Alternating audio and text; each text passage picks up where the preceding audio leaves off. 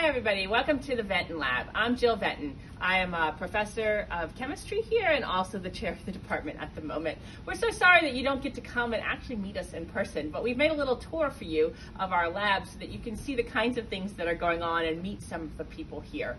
I'm really proud of our team and how they're reacting kind of during this coronavirus epidemic, uh, but also about this the cool research that goes on in our lab.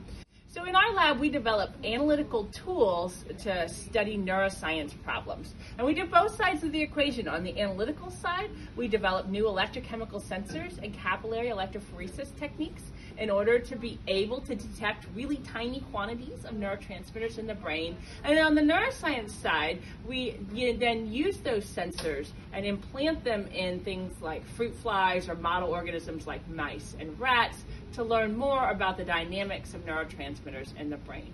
Our main goals at the moment are really to speed up the rate that we can actually measure chemicals in the brain so we have some idea of what the real time changes are in neurochemistry. While we're not really a disease lab per se, uh, we think that if we understand the neurochemicals better, that's going to lead to better treatments of disease. And so we do study things like Parkinson's disease, stroke, aging, that kind of um, information, and really looking at the chemical changes that are happening in your brain. So you're going to find a lot of different kinds of people in our lab people who focus more on technique, people who focus more on biology, and it really all comes together, I think, for a really compelling research group uh, acting on compelling research problems. Hi, uh, my name is Mimi. I'm a postdoc in Venton Lab. So my main research is focusing on Drosophila melanogaster, which is a fruit fly. And especially I'm working on the developing the analytical tool to measure the neurotransmitters released in the Drosophila brain in adult flies mainly. So I get to do a lot of cool electrochemistry and imaging and surgery in that tiny, tiny Drosophila fruit fly uh, brain. So if you'd like to join us, uh, yeah, you're welcome. I really love my project because who gets to do the surgery on the fruit fly and measure the neurotransmitter release in real time.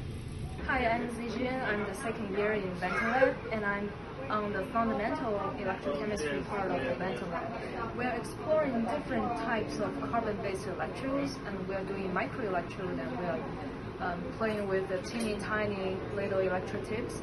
But a small one can even have a very big chemistry here, so we're exploring the different structures and ways to different functions in the neurochemistry, uh, neuro, neurotransmitter detection. We measure neurochemicals in the brain um, in real time, and like uh, particularly during the diseases such as stroke, Parkinson's, and uh, we measure these neurochemical changes and how these neurochemicals affect uh, under these conditions uh, such as stroke. And uh, we've also looked at uh, sex differences, you know, the differences in how adenosine in particular is released in the body between males and females, and uh, we're also looking at some uh, of how adenosine is a neuromodulator and how it affects uh, the release of other neurotransmitters such as uh, like dopamine.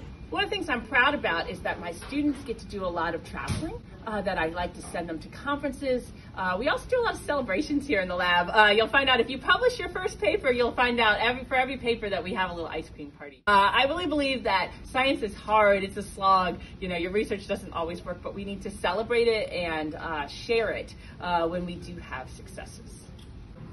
So why did you join the Venton Lab?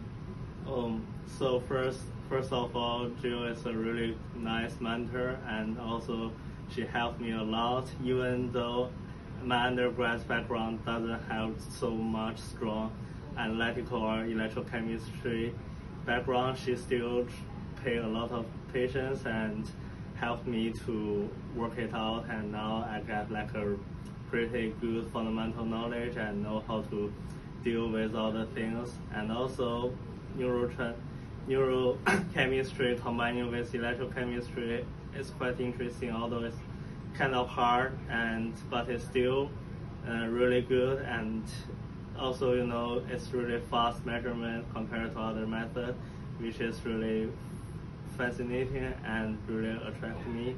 And also, uh, our life is like people really nice and everyone love to talk around and help each other, which is a really good environment for me, and especially for a foreign uh, international students. It's really helpful.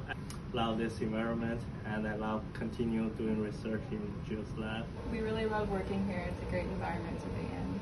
Vent Lab is really actively recruiting graduate students at the moment. Uh, we'd love to have at least two or three more people join our team next year in all of the different projects that you've heard about today. So please contact me. Uh, my email is just jventon, J-V-E-N-T-O-N at virginia.edu if you want any more information. And I hope I can interact with you more throughout our sessions at Graduate Recruiting.